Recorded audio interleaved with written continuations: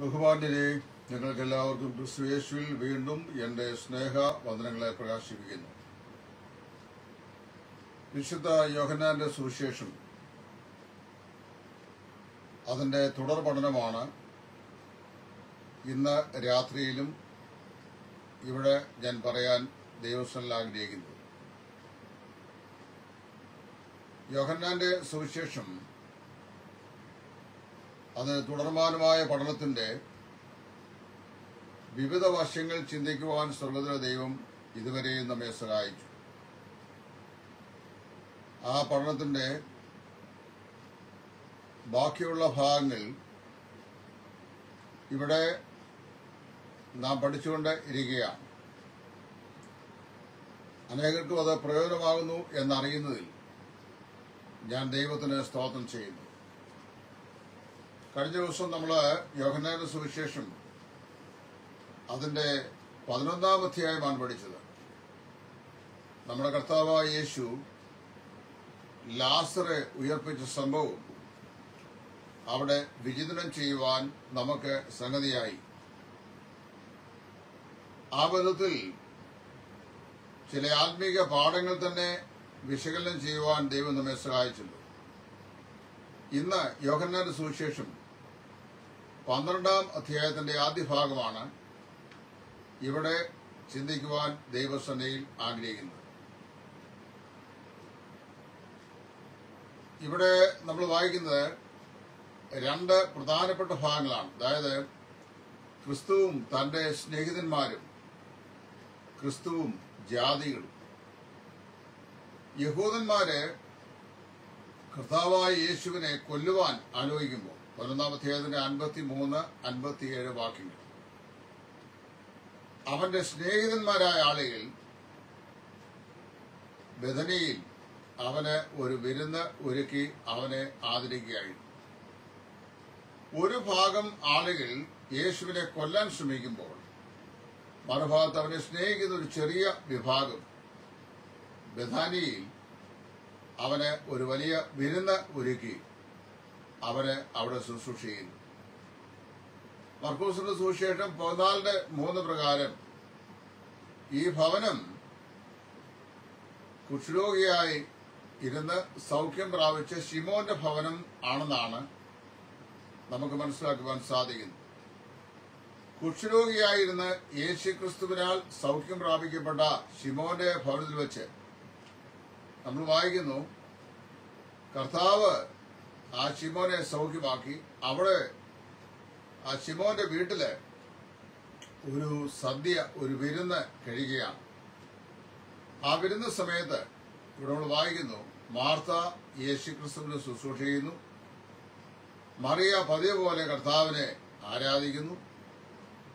അതിന്റെ കാരണം കർത്താവായ യേശുക്രിസ്തുവിന്റെ ക്രിസ്തു മുഖാന്തരമുള്ള ജീവിതത്തിന്റെ നിയന്ത്രണം നന്നായി മനസ്സിലാക്കിയ ആളാണ് ഇവിടെ മറിയ. മാർത്ത മറിയ. ഇവിടെ മുംബൈ ഞാൻ ഓർപ്പിച്ച പോലെ മാർത്ത വാസ്തവത്തിൽ കർത്താവിനോടുള്ള പ്രീതിയിലും വാത്സല്യത്തിലും ദൈവത്തിന് ചെയ്യുന്ന ശുശ്രൂഷയുടെ ഒരു നല്ല പ്രതീകമാണ്. മറിയ ആരാധനയുടെ ചിത്രമാണ്. സുവിശേഷങ്ങൾ വായിക്കുമ്പോൾ അവിടെയെല്ലാം മറിയെ കർത്താവിന്റെ കാൽക്കൽ ഇരിക്കുന്നവളായിട്ടാണ് നാം കാണുന്നത്. മാർത്ത ശുശ്രൂഷയുടെ പ്രതീകവും മറിയ ആരാധനയുടെ പ്രതീകവും. ലാസർ കർത്താവിന്റെ സാക്ഷ്യത്തോടുകൂടിയ നമ്മുടെ ജീവിതത്തെയും സൂചിപ്പിക്കുകയാകുന്നു. ഈ മൂന്നാളുകൾ മാർത്തയും മറിയയും ലാസറും ക്രിസ്തീയ ജീവിതത്തിന്റെ മൂന്ന് വശങ്ങളെ കാണുകയാണ് ഒരു ഭാഗത്ത് നാം കർത്താവിനെ സേവ് ചെയ്യുന്നു. മറുഭാഗത്ത് നാം കർത്താവിനെ ആരാധിക്കുന്നു. വീണ്ടും അടുത്ത ഭാഗത്ത് നാം കർത്താവിലൂടെ അവന്റെ സാക്ഷ്യം പറഞ്ഞ് സാക്ഷികളായി നടക്കുന്നു. ഈ വീട്ടിൽ ലിഖിതായ സമയത്ത് നമ്മൾ വായിക്കുന്ന മറിയ ഒരു വെൺകൽ ഭരണി പരിമള തൈലം കൊണ്ടുവന്ന് നമ്മുടെ കർത്താവിന്റെ കർത്താവിനെ അഭിഷേകം ചെയ്യുകയാണ് അത് വാസ്തവത്തിൽ മറിയ കർത്താവായ യേശു ക്രിസ്തുവിനെ എന്റെ മേൽ ഒഴിക്കുവാൻ അവന്റെ അവന്റെ മേൽ ഒഴിക്കുവാൻ അവൾ അതിനുവേണ്ടി കരുതിക്കൂട്ടി വെച്ച സാധനമായി വാസ്തവത്തിൽ കർത്താവിനോട് ഉള്ള അവളുടെ സ്നേഹ ആദരവുകൾ എത്രമാത്രം വലുതായിരുന്നു എന്ന് ഈ സ്വച്ഛജട മാംസ്യ ധൈര്യം കൊണ്ടുവന്നാൽ കർത്താവിന്റെ അടുക്കൽ ഇത് കർത്താവിന്റെ ദേഹത്ത് അത് ഒഴിക്കുന്നത് നിന്ന് നമുക്ക് മനസ്സിലാക്കുവാൻ സാധിക്കുന്നു. വാസ്തവത്തിൽ ഈ ഓയിൽ അവൾക്ക് വേണമെങ്കിൽ അവളുടെ സഹോദരനായ ലാസറിന്റെ മരണത്തോട് ബന്ധത്തിൽ അവൾക്ക് അത് ഉപയോഗിക്കാമായിരുന്നു. എന്നാൽ അവൾ അവിടെ അത് ഉപയോഗിക്കാതെ അവൾ വായിക്കുന്നത് അത് കർത്താവിന് വേണ്ടി അവളെ വേർതിരിച്ച് സൂക്ഷിച്ചു എന്നുള്ളതാണ്. ഒരു വിശ്വാസിയെ സംബന്ധിച്ച് ജീവിതത്തിലെ വിമർശനങ്ങളും എതിർപ്പുകളും പ്രതിസന്ധികളും പ്രയാസങ്ങളും വലിയ രോഗങ്ങളും അവയുടെ അവയുടെ അവയുടെ മൂർ- മൂർച്ചയും അതുപോലെ മരണവും ഒക്കെ ജീവിതത്തിൽ പ്രതീക്ഷിക്കാൻ സാധിക്കും. അപ്പോഴും പിറുറുപ്പ് കൂടാതെ കർത്താവിന് വേണ്ടി ഏറ്റവും മെച്ചമായ ചിലത് സൂക്ഷിക്കുവാനുള്ള വിശ്വാസികളുടെ വലിയ ഉത്തരവാദിത്തയും അതുപോലെ വലിയ താല്പര്യത്തെയും മറിയയുടെ ഈ ശുശ്രൂഷ നമ്മെ ഓർപ്പിക്കുന്നു. അതുകൊണ്ട് വായിക്കുന്നത് അവിടെ അവക്ക് ഈ മറിയയ്ക്ക് വിരോധമായി അല്ലെങ്കിൽ മറിയ ചെയ്ത ഈ സൽപ്രവൃത്തിക്ക് വിരോധമായി ഇസ്കറിയത്തോ ജൂത. അവിടെ സംസാരിക്കുന്നതാണ് നമ്മൾ വായിക്കുന്നു. അവനെ പറയുന്ന ഈ വെറുഞ്ചെലവ് എന്തിന്? ഇത് ഇരുന്നൂറ് വെള്ളിക്കാശിന് വിറ്റ് ദരിദ്രർക്ക് കൊടുക്കാമായിരുന്നു. മറിയ നമ്മുടെ കർത്താവിന്റെ ശവസംസ്കാര കർത്താവ് പറഞ്ഞത് അങ്ങനെയാണ്. അവളെ തടയരുത്. അവൾ എന്റെ ശവസംസ്കാര സൂക്ഷിക്കായി ഇത് ചെയ്തിരിക്കുന്നു. കർത്താവിന് വേണ്ടി വലിയ സ്വച്ഛജട മാംസിതര് ഒരു സാധാരണക്കാരായ സാധാരണക്കാരിയായ ഒരു ലേഡി അല്ലെങ്കിൽ സാധാരണക്കാരനായ വ്യക്തി ഒരാണ്ട് മുഴുവൻ അധ്വാനിച്ചാൽ ജോലി ചെയ്താൽ കിട്ടുന്ന ആ മുഴുവൻ പണത്തിന്റെയും മുഴുവൻ പണത്തിന്റെയും മൊത്ത ചെലവാണ് വാസ്തവത്തിൽ ഇവിടെ നമ്മൾ വായിക്കുന്നത് ആ സ്വച്ഛജട മാംസിതയിലും ഈ കർത്താവിന്റെ കാൽക്കൽ അവൾ ഒഴിച്ചത്. അത് വാസ്തു നമ്മുടെ ജീവിതത്തിൽ ഒരു വലിയ സത്യത്തെ ഓർപ്പിക്കുകയാണ്. ഏതാ വലിയ സത്യം നാം കർത്താവിന് വേണ്ടി ഏതെല്ലാം എതിർപ്പുകളോ എന്തെല്ലാം വിമർശനങ്ങളോ ഏതെല്ലാം നിലയുള്ള പ്രശ്നങ്ങളോ ജീവിതത്തിൽ ഉണ്ടായാലും നെവർ മാറ്റർ നമ്മുടെ ജീവിതത്തിലെ ഏറ്റവും ഉത്തമമായതിനെ കർത്താവിന് വേണ്ടി സ്പെൻഡ് ചെയ്യുവാൻ നമ്മൾ തയ്യാറാകുന്നതിന് ലക്ഷ്യമാണ്. യൂത ഇത് വാസ്തവത്തിൽ ഈ മറിയ ചെയ്ത ശുശ്രൂഷയുടെ ആത്മീയ അർത്ഥം എന്താണെന്ന് മനസ്സിലാക്കാൻ കഴിഞ്ഞില്ല. അവന്റെ കണ്ണ പണത്തിലായിരുന്നു. അപ്പൊ അവനെ ഇത് വിറ്റാൽ ഒരു ഇരുന്നൂറ് രൂപ വെള്ളിക്കാശ് കിട്ടും. അത് എടുത്ത് ദരിദ്ര കൊടുക്കുക ദരിദ്രയുള്ള കൺസേൺ ഒന്നും യൂതായിക്ക് ഉണ്ടായിരുന്നില്ല മറിച്ച് അവന് പണത്തോടുള്ള അവന്റെ ആ ബന്ധം അത് ഇവിടെ വെളിപ്പെടുത്തുകയാണ്. പക്ഷേ മറിയ എന്ത് ചെയ്തു? യൂത പറഞ്ഞ കാര്യങ്ങളെ കുറിച്ചൊന്നും ചിന്തിച്ചില്ല. അവൾ കർത്താവിന് വേണ്ടി അത് ചെലവഴിക്കുവാൻ വെളിങ്ങായി അതിനുവേണ്ടി തയ്യാറായി അതിനുവേണ്ടി ഒരുക്കപ്പെട്ടുള്ളതായി തീർന്നു. നമ്മൾ വായിക്കുന്നത് ദൈവം നമുക്ക് അനുകൂലമെങ്കിൽ പ്രതികൂലമാ. ദൈവം നമുക്ക് അനുകൂലമെങ്കിൽ പ്രതികൂലമാ എന്നാണ്. അപ്പൊ ദൈവം അനുകൂലമാണെങ്കിൽ ആരെല്ലാം പ്രതികൂലമായിരുന്നാലും ദൈവം നമുക്ക് തന്ന ശുശ്രൂഷ നടപടിയായി നിവർത്തിക്കുവാൻ നമുക്ക് സാധിക്കും.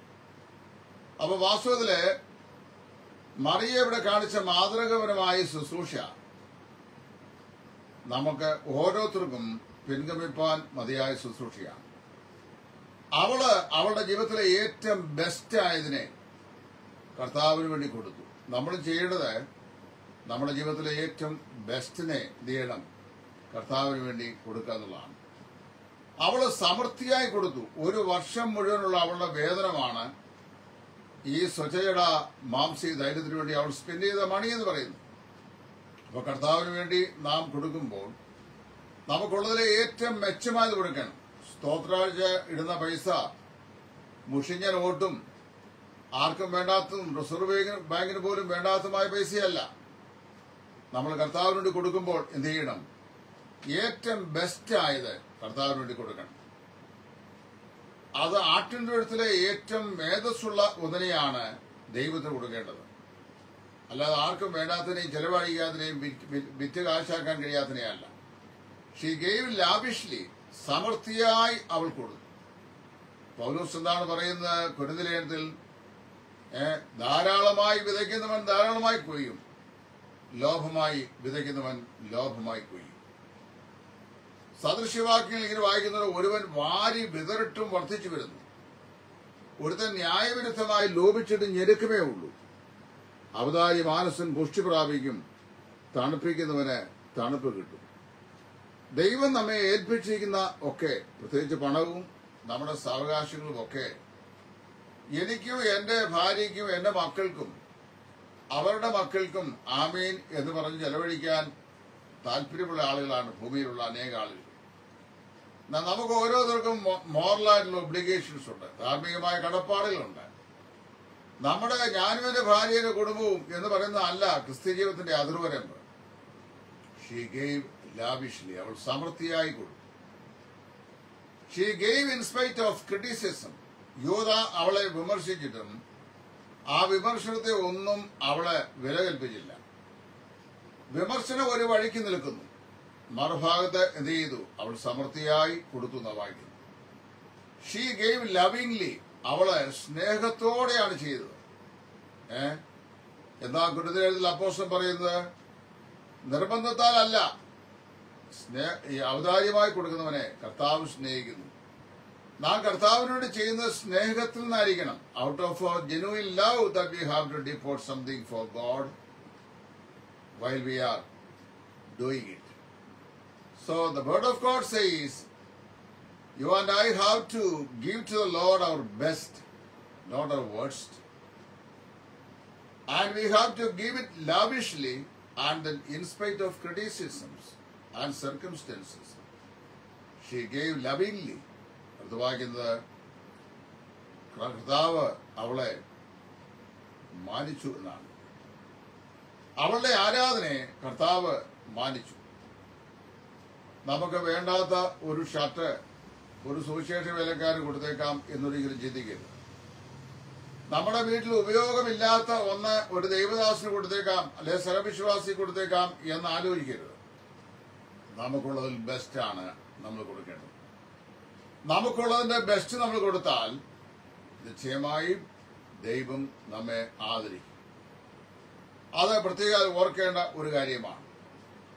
അബ്രഹാം ദൈവത്തിന് കൊടുത്തപ്പോൾ he gave the best in his life അതായത് ഐസക്കാണ് അബ്രഹാമിന്റെ ജീവിതത്തിലെ ഏറ്റവും ശ്രേഷ്ഠമായ മെച്ചമായ സംഗതി.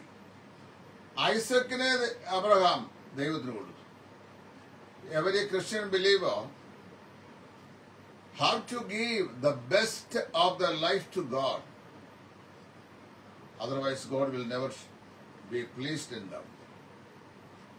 So we need to learn how to offer or how to give the best of our life for the glory of our Lord Jesus.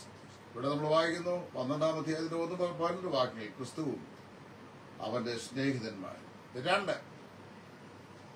ക്രിസ്തുവും ജാതികളും പന്ത്രണ്ട് പന്ത്രണ്ട് മുതൽ മുപ്പത്തി ആറ് വാക്കുകൾ കർത്താവായ യേശു ക്രിസ്തുവിന്റെ ജന്മത്തിങ്കൽ അവനെ തേടി വന്ന വിദ്വാൻമാർ ജാതികളായി ഇപ്പോഴെ കർത്താവിന്റെ മരണത്തോട് മുതൽ വീണ്ടും ജാതികൾ സീനിൽ വരികയാണ്. എന്തുകൊണ്ടാണ് യോഹനാൻ ഈ ജാതികളെ സംബന്ധിച്ച് ഇവിടെ പ്രശ്ന ഇവിടെ പരാമർശിക്കുന്നത്? അതിന്റെ റീസൺ യഹൂദന്മാർ രാജാവായി പിറന്നവനെ ഇസ്രായേൽ ഇവിടെ നിരാകരിച്ചു കളഞ്ഞിരിക്കുന്നു. യഹോദന്മാർ പറഞ്ഞത് ഞങ്ങൾക്കൊരു അടയാളം വേണമെന്നാണ്. ഞങ്ങൾ നിന്നിൽ വിശ്വസിക്കുന്നതിന് ഞങ്ങൾക്കൊരു അടയാളം കാണിച്ചു തരണമേ എന്നാ പറഞ്ഞു മത്തായി പന്ത്രണ്ട് മുപ്പത്തെട്ട്. അവിടെ കർത്താവ് പറഞ്ഞു നിങ്ങൾക്ക് യോനയുടെ അടയാളമല്ലാതെ മറ്റൊരടയാളമില്ല കാര്യം യോന ഈ ഇസ്രായേലിനിടയിലെ ചെയ്ത പ്രവാചകനാണ്. നിലവിൽ ശുശ്രൂഷ ചെയ്ത പ്രവാചകനാണ്. അവൻ മത്സ്യത്തിന്റെ വയറ്റിൽ മൂന്ന് രാവ് മൂന്ന് മകലും ഇരുന്ന കാര്യം യോനയുടെ പുസ്തകത്തിൽ എഴുതിയിട്ടുണ്ട്. കർത്താവ് പറഞ്ഞു നിങ്ങൾക്ക് യോനയുടെ അടയാളമല്ലാതെ മറ്റൊരടയാളമില്ല യോന മത്സ്യത്തിന്റെ വയറ്റിൽ മൂന്ന് രാവും മൂന്ന് പകലിരുന്ന പോലെ മനുഷ്യപുത്രനും ഭൂമിക്കുള്ളിൽ മൂന്ന് രാവും മൂന്ന് പകലും ഇരിക്കേണ്ടതാകുന്നു. അപ്പോൾ യഹൂദന്മാര് അവനോട് ഒരു അടയാളം ഞങ്ങൾക്ക് വേണം. ഞങ്ങൾ ഇതിൽ വിശ്വസിച്ചെന്ന് പറയുമ്പോൾ യവനന്മാർ പറഞ്ഞെന്താ? We want to see Jesus ഞങ്ങൾക്ക് യേശുവിനെ കാണണം. യേശുവെന്നൊരു അടയാളം കാണാൻ യഹൂദന്മാർ ആഗ്രഹിക്കുമ്പോൾ യേശുവിനെ കാണാൻ ആഗ്രഹിക്കുന്ന യവനായ ഫിലിപ്പോസ് അവന്റെ പേര് ഫിലിപ്പ് എന്ന് പറയുന്ന ഒരു ഗ്രീക്ക് നെയ്മാണ് യവനായ നാമാണ്. അപ്പൊ വാസ്തവത്തിൽ പല സന്ദർശകരും യേശുവിനെ കാണാൻ യേശുവിന്റെ അടുക്കൽ വന്നു. ആന്ത്രയോസിന്റെ പേരും ഒരു യവനായ നാമമാണ്. ഈ ആന്ത്രയോസിനെ നമ്മൾ സുവിശേഷങ്ങൾ വായിക്കുന്ന സ്ഥലങ്ങളിലൊക്കെ അവൻ ആരെയെങ്കിലും ഒക്കെ ചെല്ലെ കൂട്ടിക്കൊണ്ട് കർത്താവിന്റെ അടുക്കൽ വരുന്ന കാഴ്ചയാണ് നമുക്ക് കാണാൻ സാധിക്കും. ആരെയെങ്കിലും അവൻ കൂട്ടിക്കൊണ്ട് കർത്താവിന്റെ അടുക്കൽ വരും. ഇവിടെ നമ്മൾ വായിക്കുന്നത് കർത്താവ് ഈ ഈ ജാതികളോട് സംസാരിക്കുന്ന ഈ ഭാഗത്താണ് പറയുന്നത്. മനുഷ്യപുത്രന് ഉയർത്തപ്പെട്ടാൽ എല്ലാവരും അവങ്കിലേക്ക് ആകർഷിക്കപ്പെടും. എല്ലാവരെയും അവങ്കിലേക്ക് ആകർഷിക്കും. പത്തായി പത്തിന്റെ അഞ്ച് പതിനഞ്ചിന്റെ ഇരുപത്തിനാല്. കർത്താവ് തന്റെ ശിഷ്യന്മാരെ ആദ്യം പഠിപ്പിച്ചപ്പോൾ ജാതികളെ പഠനത്തിൽ പോകാതെയും അവരോട് ഒന്നും പറയാതെയും ഇരിക്കണം എന്നാണ് പറഞ്ഞത്. എന്നാൽ ഇപ്പൊ പറയുന്നത് ജാതികളും ക്രിസ്തുവിന്റെ ക്രൂശ് മുഖാന്തരം ദൈവ ദൈവസ്നേഹത്തിന് അതിന് ദൈവത്തിന്റെ അവകാശികളായി ഇരിക്കും എന്നുള്ളതാണ്. അപ്പോൾ ഈ കാര്യം നമ്മൾ പ്രത്യേകം മനസ്സിലാക്കേണ്ടതായിട്ട് ഇരിക്കുന്നു. അപ്പൊ ഏതായാലും ഇവിടെ ചിന്തിക്കുന്ന വിഷയം. കർത്താവ് ഇവിടെ ഒരു ഉപമയും പറഞ്ഞു. ഗോതമ്പോണി നിലത്ത് വീണ് ചാകുന്നില്ല എങ്കിൽ അത് തനിയിരിക്കും. ചത്തുവെങ്കിലോ വളരെ ഫലം കായ്ക്കും അത് കർത്താവ് തന്റെ മരണ മരണത്തെക്കുറിച്ച് പറഞ്ഞ പ്രസ്താവനയാണ്. ക്രിസ്തു- ഉയർത്തപ്പെടണം. അല്ലാതെ എല്ലാവരും മനു- മനുഷ്യപുത്രം ഉയർത്തപ്പെട്ടാൽ എല്ലാവരും അവങ്കിലേക്ക് ആകർഷിക്കും എന്ന് പറയുമ്പോൾ എല്ലാവരും കൂടെ രക്ഷിക്കപ്പെടുമെന്നല്ല പറഞ്ഞതിന്റെ അർത്ഥം അതിന്റെ അർത്ഥം ഭൂമിയിലുള്ള സകല ആളുകൾ ഒരാൾ പോലും ഇല്ലാതെ രക്ഷിക്കപ്പെടും എന്നല്ല മറിച്ച് റിഗാർഡ്ലെസ് ഓഫ് റേസ് അതായത് ജാതീയ വംശീയ പശ്ചാത്തലം കൂടാതെ ഡ്രോ മാൻ. ഇവിടെ കർത്താവ് വീണ്ടും ഇരുപത്തിമൂന്ന് ഇരുപത്തിയേഴ് വാക്കിൽ എന്റെ നാഴിക വരുന്നു വന്നിട്ടില്ല എന്ന് പറയുന്നു. അപ്പൊ വാസ്തവത്തിൽ അത് ആദ്യം കർത്താവ് പറയുന്നത് രണ്ടാം അധ്യായത്തിന്റെ അഞ്ചാം ഭാഗം എന്റെ നാഴിക ഇതുവരെയും വന്നിട്ടില്ല അവർ ഹാസ് നോട്ട് കമറ്റ് ഏഴിന്റെ മുപ്പതിനും കർത്താവ് പറഞ്ഞിട്ടുണ്ട് പതിമൂന്നിന്റെ ഒന്നിലും പതിനേഴിന്റെ ഒന്നിലും പറഞ്ഞിട്ടുണ്ട്. ഇവിടെ പറയപ്പെടുന്ന നാഴിക കർത്താവിന്റെ ക്രൂശിലെ മരണത്തിന്റെ രംഗമാണ് അത് തന്റെ മഹത്വീകരണത്തിന്റെ നാഴിയെ കുറിച്ചാണ് ഇരുപത്തി ആറാം വാക്യം നോക്കുക കർത്താവ് ആ നാഴികയിലേക്ക് എല്ലാവരെയും സ്വാഗതം ചെയ്യുന്നു The ground is level at the foot of the cross. Neither Jew nor Gentile has any special advantage. അവർ പറയുന്നത് for all have sinned and come short of the glory of God പ്രിയപ്പെട്ടവരെ ഈ പന്ത്രണ്ടാം അധ്യായത്തിന്റെ ആദ്യ ഭാഗത്ത് കർത്താവും തന്റെ സ്നേഹിതരും കർത്താവും ജാതികളും ഇതാണ് നമുക്ക് ചിന്തിക്കുവാൻ ഇടയായത്. ഇതിന്റെ ബാക്കി ഭാഗം കർത്താവ് വെച്ചാൽ വീണ്ടും നമുക്ക് നാളെ പഠിക്കാം. ദൈവം നമ്മെ സഹായിക്കട്ടെ. ക്രിസ്തുവിൽ നിങ്ങളുടെ സഹ കൃത്യൻ സുവിശേഷകൻ ടൈറ്റസ് ഇടയാറുള്ള. Thank you.